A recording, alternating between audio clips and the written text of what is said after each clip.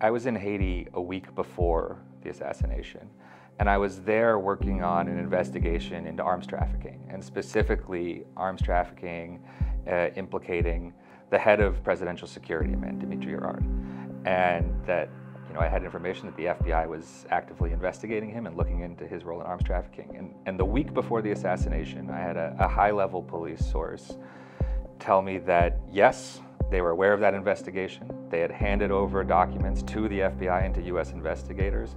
And not only that, that President Moise was aware of that investigation, but wasn't personally going to make a move against Hérard because he was waiting for the United States to act. And a week later, he was dead. And now Dimitri Hérard is in jail, allegedly implicated in the assassination itself, right? And so I tell that story because I think it provides a little bit of context into what was going on at the time, right? You had a police force that had been politicized and fallen apart and had been collapsing. You had a president who was besieged, who many believed his term had already ended, right?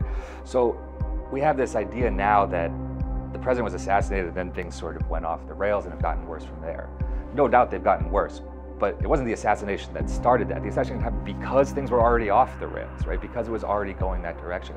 What was surrounding the president was a toxic situation of allies who wanted power over him, right? Of an opposition who wanted power over him, but all sorts of different, uh, you know, factors surrounding him that made it, while shocking, not at all surprising, right? For me, we don't know still today the ultimate masterminds of the assassination or what the real motivations necessarily were behind it. But there is one fact about the assassination that I think is extremely important to understand, and that is that just about everybody implicated claims to have been operating with the support of the United States government. And that's not to say that the United States government was behind the assassination or these people were telling the truth, but they were convinced of it. And I think that tells us something bigger about this dynamic, which is, again, how influential the United States can be, even if it's not real the mere perception of US support for something can be enough to convince people to assassinate a president.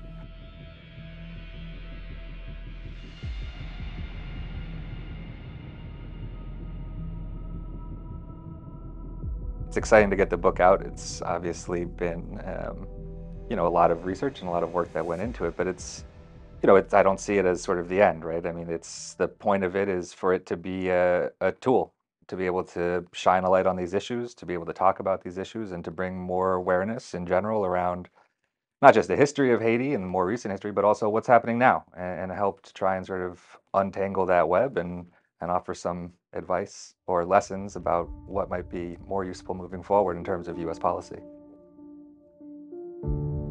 So I, I first got involved with Haiti after the 2010 earthquake, you know, and I think like a lot of people. Uh, you know, we, we wanted to do something. I was working at a, a, research organization here in DC, the Center for Economic and Policy Research. A number of my colleagues had had history with the country, were connected with groups there, and so we wanted to do something. And we knew, and what I think my colleagues understood far better than I did at the time, was that the decisions made in Washington were going to have a huge impact on what was happening for the future of Haiti. And so being in Washington, we actually were in a unique position to be able to keep an eye on that and be involved in that part of the discussion. And what we realized really quickly was, you know, what we were hearing from, from organizations on the ground, from the people on the ground that we were talking with, and what they were looking for, what they needed, uh, what they were aware of in terms of these billions of dollars in pledges for, for Haiti's relief and reconstruction, didn't match at all what we were hearing uh, in terms of the conversations we were part of in Washington, D.C., right? And so we launched, uh, you know, what you did in, in 2010, which a blog uh, to, to monitor the relief and reconstruction efforts. And really from that very beginning, it was February 2010, the overwhelming question was, where is the money going? Who's getting it? And where should it be going? And that was really my entry into this, this whole question. In terms of where the money's going, right, the first thing that was really striking was discovering that most of the money was actually going to organizations here in the United States, specifically quite a few organizations that were just a few blocks from my office in Washington and not to organizations in Haiti, right? And so we had this information, you know, but these reports, the databases, you can get access but it's all in English, right? And you have to know precisely where to look and, and what you're looking for, right? And that was a, uh, something that we, in a, being in Washington and being you know, familiar with that process, ultimately had greater access to information than a lot of individuals and organizations in Haiti who were the ones who were actually doing this work and could really use that information. And so what we viewed our role as was sort of an intermediary to be able to take this information and synthesize it and get it out there so that those groups on the ground could actually have some uh, awareness and information to advocate for a change in how that money was being spent. See, there's a lot of different mechanisms and pathways for money to get from developed countries, rich countries into Haiti, right? So you have the formal bilateral aid from agencies like USAID, the United States Agency for International Development, similar agencies from the EU, Canada, et cetera. You've got private donations, right? By some estimates, uh, up to 50% of American families donated to the relief effort. That money's channeled through slightly different pathways, right? And then you have big funds coming through development banks, the IMF, the World Bank, the Inter-American Development Bank, and things like that. And they're all a little bit different in how they work. But the overall picture is pretty clear. After the first couple years of the earthquake, less than 1% of money had actually gone to Haitian organizations or the Haitian government itself, right? Less than 1%. If you look narrowing in on USAID, the numbers were slightly better, but still far below 10% even of the money going directly to Haitian entities. Now, the response is that, well, we subcontract with Haitian entities. Money goes through different layers. Okay, there's a few problems with that. One is the first person that gets the money takes their share of the money, the second person takes their share. By the time you actually get to the ground, you've got a lot less money left over, right? So where did the money go? Well, a lot of it went to these intermediary steps before it ever made it to the ground. And the other issue with this is, right, not just you know how that money happens, but the transparency with it, right? So I could find, as a researcher here, there are tools and databases where you can find the top level recipient of U.S. money but there's no transparency around what they do with it and who those subcontractors are. And so you can say that yes, more money gets to Haiti, and it's assuredly true. There was more money going to that than that top line number of you know one percent, five percent, but it was impossible to quantify because we simply didn't have the data. The government was put in a position after the earthquake where it was abundantly clear that they needed outside support, right? They needed the resources. But donors come in and say, well, we'll give you the resources under these specific conditions.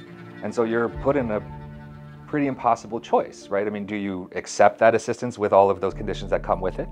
Or do you not accept those, that money and try and move forward amongst this you know, calamitous situation without that outside support? And that's not an easy choice to make. So we see the United States, for example, and this is not just a problem of leadership, it's, a, it's also a problem of Congress, because Congress was the one that said, okay, we'll allocate this money to Haiti, but only if you spend it on X, Y, and Z.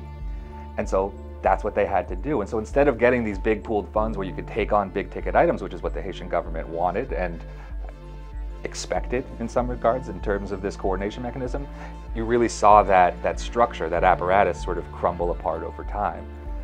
And I think what it really speaks to ultimately, right, is this, this question of control, right? I mean, who is really in control of how this money is being spent? And ultimately, who is it intended to benefit, right? And the way that the United States has structured our foreign aid system is so that it is much a domestic stimulus and jobs program here that it is about development in a country like Haiti, right? We have to grapple with that and try and change those systems and those structures and those laws that are in place that prevent us from actually delivering effective assistance.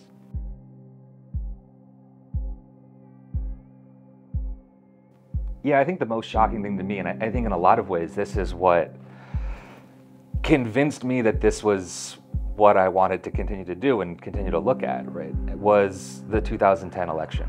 Um, and that was held in the aftermath of the earthquake, more than a million people displaced. And we were among many groups of elevating voices from Haiti expressing serious concern around rushing into this electoral process with all of the limitations and all of the you know, broader circumstances that seemed to indicate to most people that this was not going to go well. And of course, it, it didn't go well, but what actually was so shocking was then seeing what happened afterwards, seeing the intervention of international actors to try and manage that situation, to eventually overturn those election results, and the mechanisms by which they would do that, threatening to withhold aid uh, and things like this, threatening visas. In fact, in some cases, pulling visas. There's a story in here uh, in the book where you know a, a former government official recalls uh, somebody from the UN calling and saying, "If you don't get on board with this, we're going to send protesters to your doorstep. Right? This is an international official calling a Haitian government official and saying, if you don't agree to our demands about your election, we're going to send protesters to your doorstep.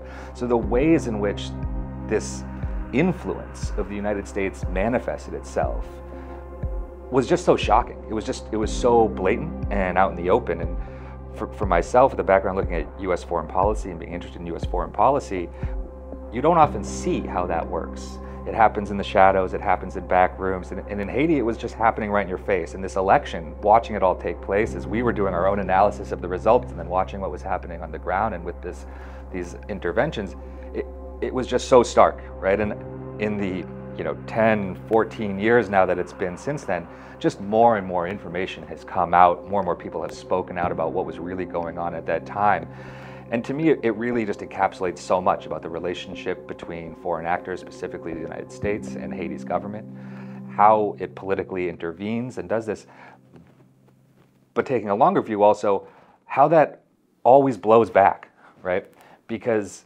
it's not just shocking that it happened and that it happened so obviously at the time. But then that once the United States was committed to that path, it did everything in its power to justify that decision, right? And to try and support that government that it brought to power, despite a track record that was getting worse and worse and worse by the year. They didn't want to hear it. And so this didn't just affect one election, right? This changed the trajectory of a country, right? And to see that play out year after year after year over 14 years, uh, was, I think, really shocking and really illuminating for me, uh, not just in terms of the influence of Haitian politics, but how U.S. foreign policy really works.